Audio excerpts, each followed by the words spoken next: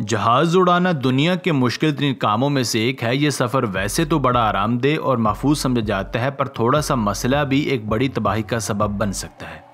पर आज की वीडियो में हम उन माहिर पायलट्स के बारे में आपको बताएँगे, जिनके लिए जहाज़ उड़ाना गली में साइकिल चलाने के मुतरद है।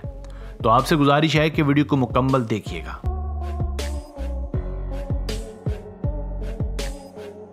नंबर सात, कहा जाता है कि जहाज़ के 70 फ़ीसद हादसा लैंडिंग और टेक ऑफ़ के दौरान ही होते हैं, क्योंकि पूरी फ़्लाइट में ये दो मरहले ही सबसे अहम होते हैं। इस वीडियो में देखा जा सकता है कि कैसे एक पैसेंजर प्लेन के टायर में से लैंड होते ही आग के शोले बुलंद होने लग पड़े।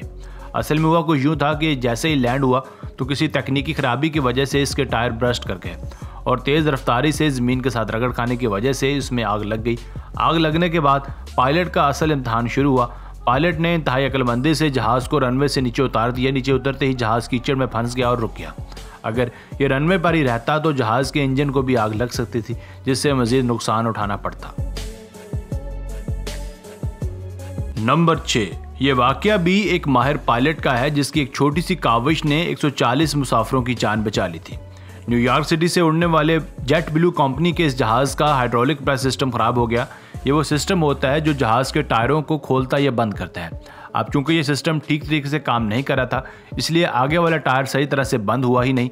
जल्दी पायलट को भी इस चीज़ का एहसास हो गया। उसने जहाज़ को बजाय मंजिल पर ले जाने के पास ही मौजूद लॉस एंजल्स के एयरपोर्ट पर उतारने का फैसला किया। लेकिन इसके लिए ज़रूरी था कि पहले जहाज़ का फ्यूल ख़त्म किया जाए, क्योंकि ज़ाहिर सी बात है, जब फ्रंट व्हील रनवे से टकराएगा तो उसमें आग भड़क उठेगी। और अगर फ्यूल ने आग पकड़ ली तो किसी के भी बचने के चांसेस ना होने के बराबर होंगे। इसलिए जहाज़ को दो घंटे तक हवा में ही रखा गया। जब फ्यूल खत्म होने लगा, तब पहले जहाज़ के पिछले टायर्स को रनवे पर उतारा गया, जबकि अगले टायर को ज़्यादा देर तक ऊपर उठाकर रखा गया। पर जैसे ही अगला टायर ज़मीन के साथ लगा तो मतवक़ा तौर पर उसमें आग भड़क उठी, मगर फ्यूल ना होने की वजह से ये आग ज़्यादा नहीं फैली और इस तरह 140 मुसाफिरों की ज़िंदगी बच गई।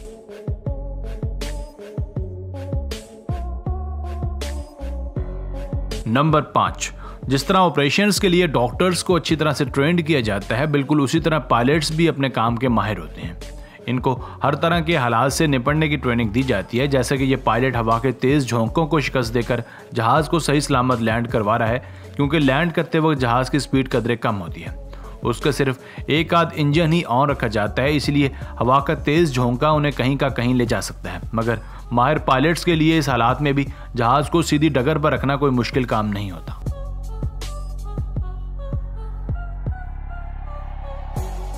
नंबर चार। चलिए इस तरह की एक और लैंडिंग भी मुलाजा करते जाएँ। ये दुनिया की सबसे बेहतरीन एयरलाइन एमरेट्स के जहाज़ की लैंडिंग है।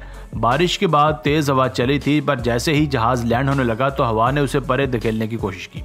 पर जैसे ही पायलट ने उसे रनवे पर लैंड करवाया तो बारिश के पानी की वजह से रनवे भी स्लिपरी था, जिसकी वजह से जहाज़ मजीद हचकोले खाने लगा। पर पायलट इस तरह के हालात से निमटना अच्छी तरह से जानता था। उसने जहाज़ का कंट्रोल वापस से संभाला और उसे सही सलामत रनवे के आखिर तक ले लेके आपको बताते चलें कि एमरेट्स एयरलाइन के पायलट्स दुनिया के बेहतरीन पायलट्स होते हैं।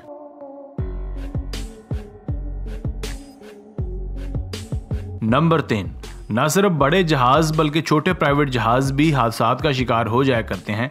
इस क्लिप में भी कुछ ऐसा ही सीन देखने को मिला जिसमें जब पायलट ने जहाज़ को उड़ाया तो कुछ ही सेकंड्स में उसे पता चल गया कि जहाज़ का हाइड्रोलिक सिस्टम काम करना छोड़ गया है। जहाज़ के व्हील्स अंदर तो चले गए, पर अब बाहर नहीं आएँगे। इसीलिए उसने उसी रनवे पर जहाँ से वो उड़ा था, जहाज़ को बगैर टायर्स के लैंड करवा दिया। खुशकिस्मती से जहाज़ में रगड़ की वजह से आग नहीं लगी, वरना फ्यूल भरे होने की वजह से नतज भयानक भी आ सकते थे। जैसे ही जहाज़ रुका पायलट आराम से बाहर आया और जहाज़ को देखकर कहने लगा, पता नहीं, अब तुम्हें क्या मौत पड़ गई है? नंबर दो ये कहानी भी बाकियों से मिलती जुलती है। नवंबर 2011 में भी एक बड़े पैसेंजर प्लेन बोइंग 767 का हाइड्रोलिक सिस्टम फेल हो गया और जहाज़ के टायर खुले नहीं। जब पायलट को इस बात का पता चला तो उसने एविएशन सेंटर से रबता किया, मगर अब भला इसका क्या हल निकल सकता था। इस पायलट ने भी बाकी माहिर पायलट्स की तरह जहाज़ को तकरीबन दो घंटे तक एयरपोर्ट के इर्द उड़ाया, ताकि फ्यूल टैंक को खाली किया जा सके। जैसे ही फ्यूल टैंक तकरीबन खाली हो गया पायलट ने बगैर टायर्स के ही जहाज़ को लैंड कर दिया। ऐसी लैंडिंग जिसमें जहाज़ के टायर ना खुलें और जहाज़ को बॉडी के बल लैंड करवाना पड़े, उसे बैली लैंडिंग कहते हैं। और यही एक तरीका है किसी बड़े हादसे से बचने का। इस तरह 220 मुसाफिरों की ज़िंदगी बचा ली गई।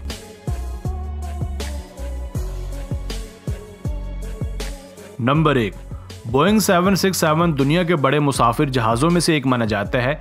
इसीलिए इसे कंट्रोल करने के लिए अनाड़ी की नहीं, बल्कि खिलाड़ी की ज़रूरत होती है। एक छोटी सी गलती भी कई लोगों को लुकमा अजल बना सकती है, जैसे कि यहाँ देखिए कि कैसे जहाज़ जब लैंड होने लगा तो तेज़ हवा ने उसे फिर से ऊपर उड़ा दिया। पायलट ने भी हवा की बात मान ली और जहाज़ को दोबारा हवा में बुलंद कर दिया। मगर जब वो रनवे का चक्कर लगाकर दूसरी बार लैंड करने आया तो इस बार उसने हवा की एक नहीं चलने दी और गिरते फिसलते जहाज़ को सही सलामत लैंड करवा ही दिया। इसे कहते हैं ख़तरों के असल खिलाड़ी। तो बस यहीं तक थी आज की वीडियो। आपको इनमें से किस पायलट का काम ज़्यादा पसंद आया, हमें कमेंट सेक्शन में लाजमी बताइएगा। अगर वीडियो पसंद आई हो तो प्लीज़ वीडियो को लाइक और चैनल को सब्सक्राइब कर दें। आपका बहुत शुक्रिया, मिलते हैं एक नई वीडियो के साथ। असलकुम